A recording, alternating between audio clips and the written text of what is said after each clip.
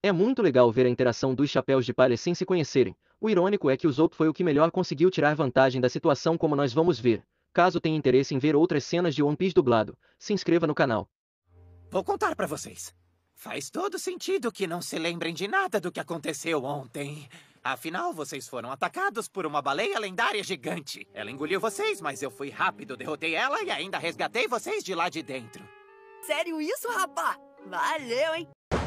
Eu sou o Sop, o comandante de um grande bando de piratas que domina os mares do East Blue. Sou admirado e adorado pelo povo. Sou chamado pelo título de Capitão Usopp. Epa, epa, cuidado com o jeito que vocês falam comigo, pois saibam que eu tenho mais de 8 mil homens sob meu comando. O quê?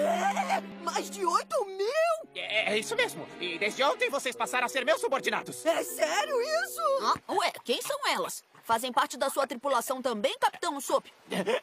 Ah, ah, é claro que sim. Vocês dois também perderam a memória? Sim, essa cena é de um filler onde eles perdem a memória. Esse tipo de filler é perfeito para quem já assistiu o anime e quer se divertir, pois na maioria das vezes acontece coisas muito aleatórias como essa.